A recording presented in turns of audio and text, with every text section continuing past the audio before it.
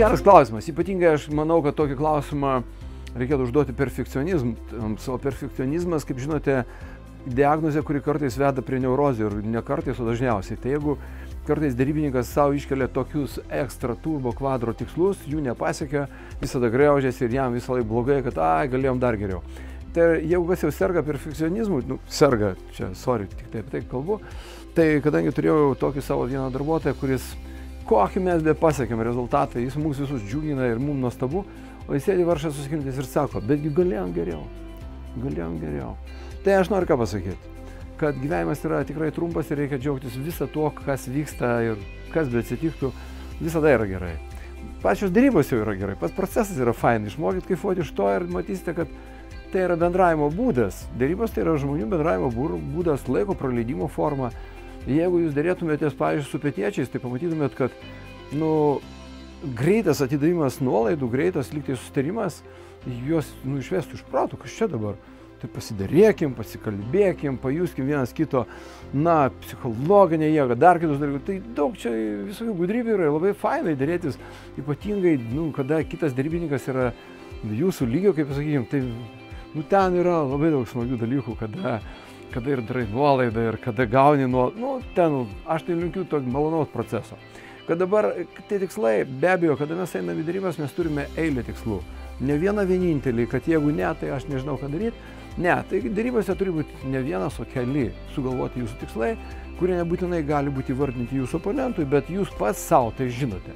Kas yra maksimumas, kas yra middle viduriukas, kas yra mažesnis, na ir gal bent jau, bent jau pradžiai kitas darybas, kuriuose viską galite ir daugiau laimėti. Tai po kiekvienų darybų mes darome keturis apžvalgos klausimus savo, jeigu norime tobulėti kažkaip tai įėjau į temą, kurios nenorėjau liesti. Va. Bet tai visada pasitikriname tikslų pagalba, jie labai reikalingi, tai kaip ir vertinimas.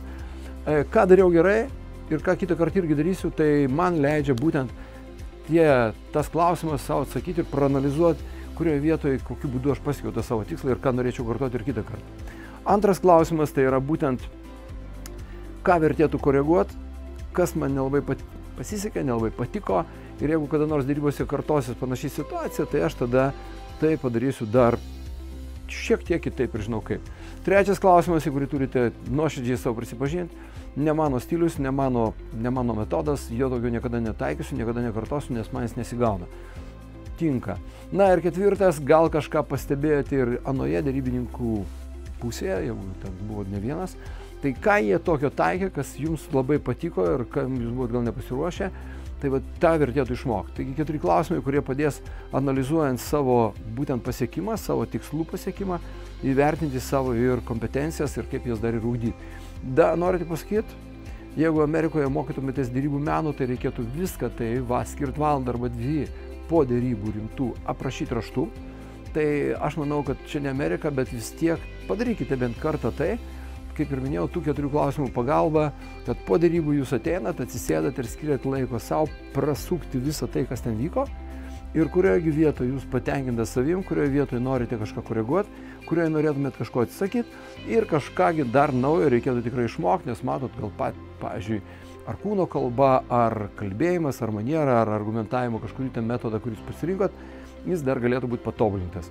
Tai pirmiausia, tai linkiu turėkite ne vieną, o keletą tikslų, mokėkite juos savo apsibriežti ir tada žinosite, juos pasiekėte ar ne ir tada galėsite ir toliau tobulėti. Turėkite tikrai ne vieną, o keletą tikslų darybose.